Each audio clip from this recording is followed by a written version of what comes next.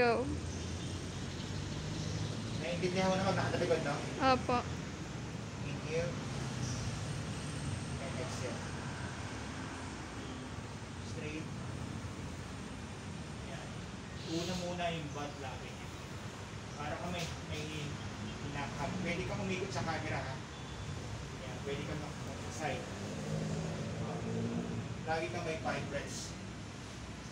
Pag nag-hold ka rito, mag-hold ka na. Mag-five breaths rito. Kaya minsan dalawang position lang gagawin ko. Kasi meron kang reps. Tapos to. With. Diretso na siya. Ginagawa ka diretso na movement.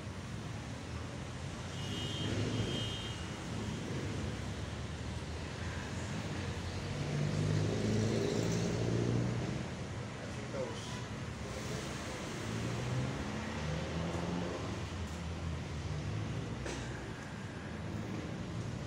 From here, yung left. Open mo lang yung left. Pwede ka maganyan. Balik ulit. Center.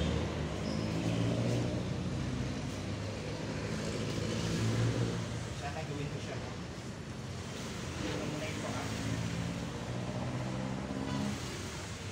Five breaths din dito. Tapos Balik.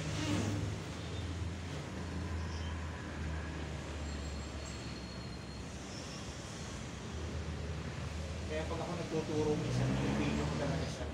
Minsan nakakalimutan ko sa estudyante ko. Kaya swerte yung mga estudyante na nasasaulo nila.